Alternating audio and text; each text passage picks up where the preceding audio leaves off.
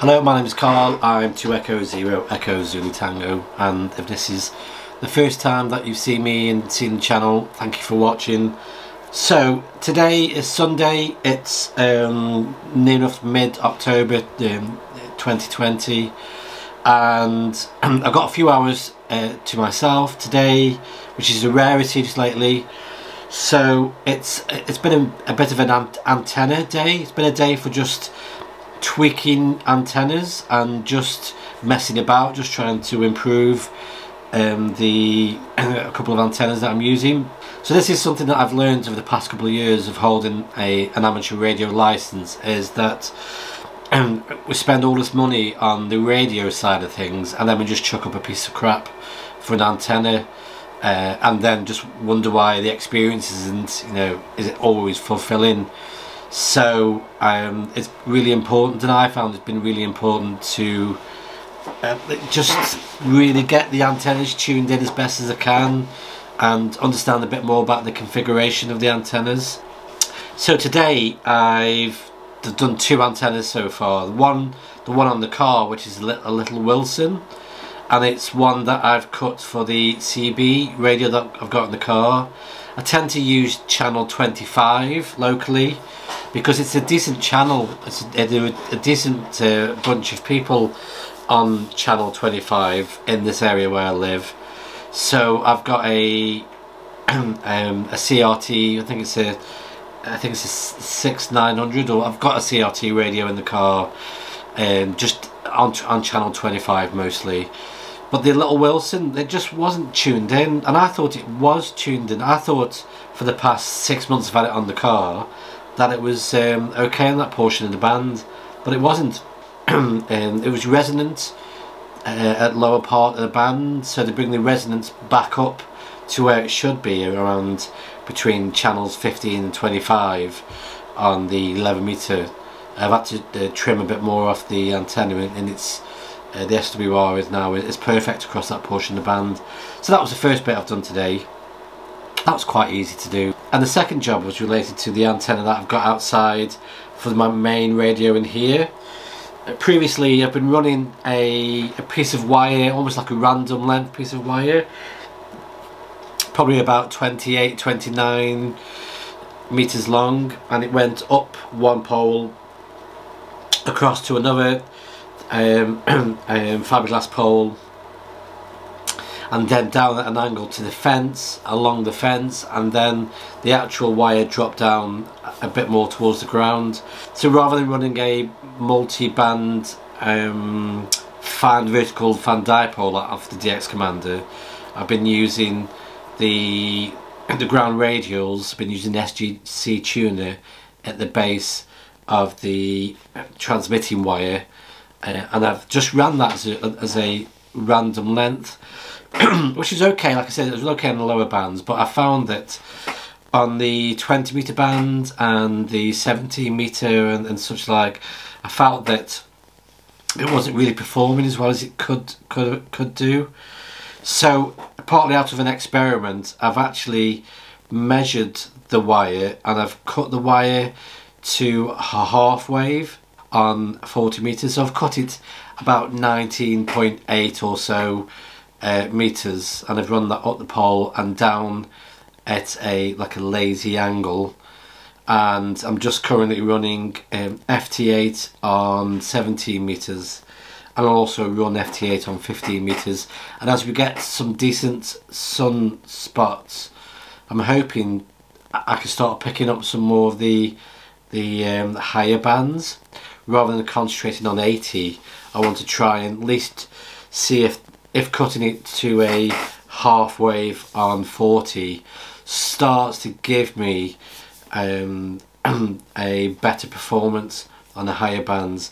Hopefully by having it um, more resonant on a number of frequencies and having the angle better of the wire I'm hoping the and the takeoff the you know I'm hoping the radiation pattern improves for the higher bands so that's the plan. I'm hoping that'll work. Uh, let me just, we're getting a bit, uh, I'm just turning it down. The sun's shining now over here and it makes me shine off my head.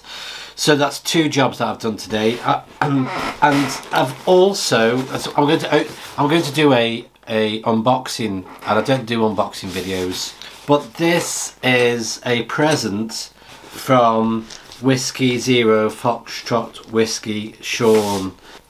I'm just opening this.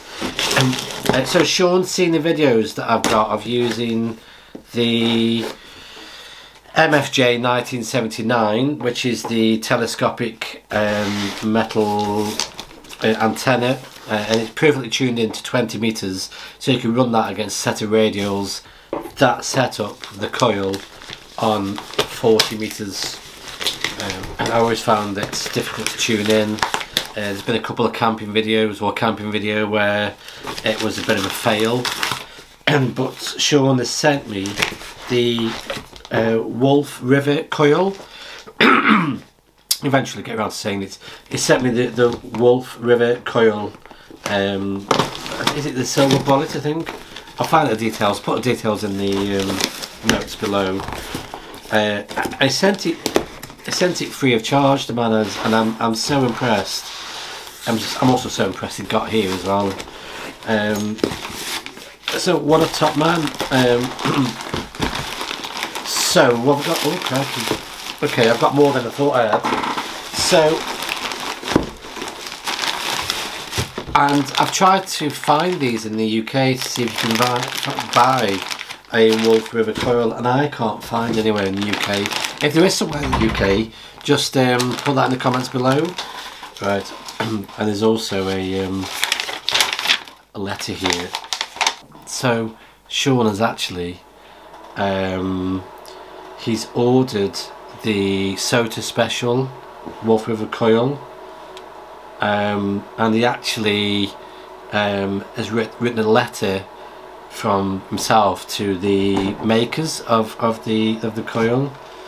Shawn's actually purchased this. He's actually asked the Wolf River Coil uh, chaps to send me a brand new SOTA special and Shawn has actually paid for it so that it, it's I'm, I'm so chuffed.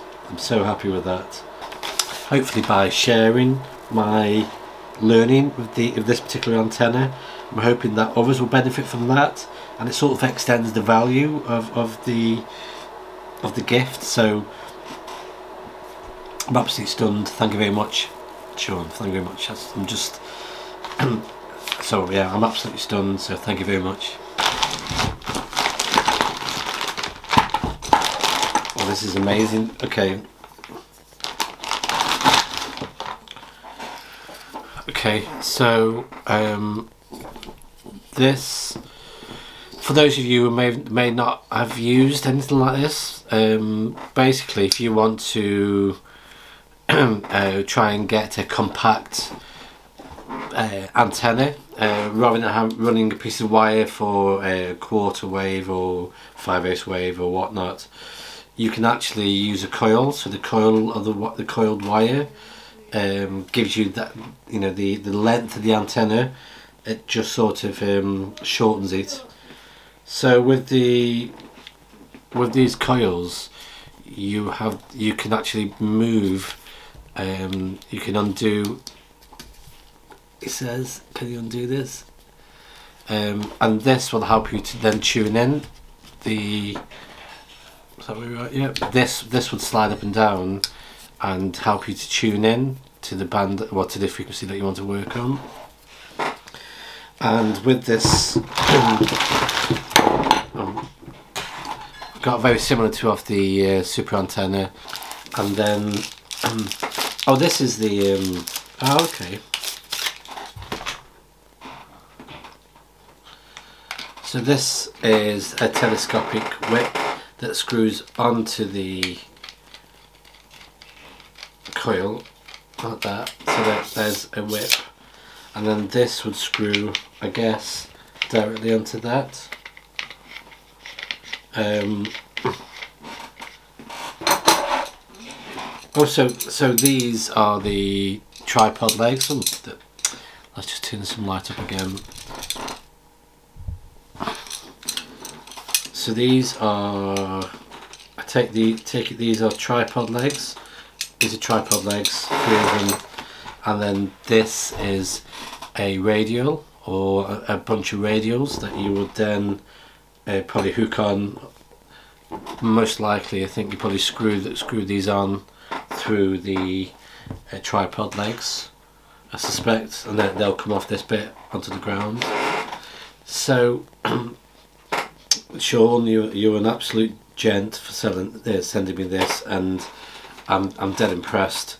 So I will be doing a video of taking this outdoors and uh, giving it a go. Um, I would set it up in a back garden here, but I find that setting up right next to the house, um, I tend to sort of get reflections and all sorts, I think anyway, and I, need a good open space to give the antenna a good test.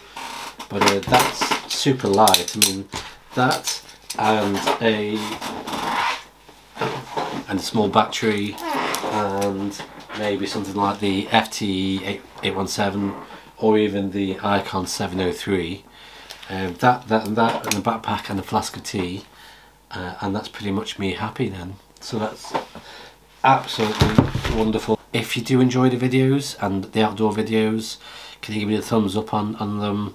If you've not yet subscribed and you do enjoy what you're seeing on the channel uh, can you, you know, hit that subscribe button that really helps YouTubers to know that we're doing the right thing. So it is really important. It's really really uh, you know, we are blessed to have um, some good people following us. So thank you for watching and look forward to the next videos. Bye bye for now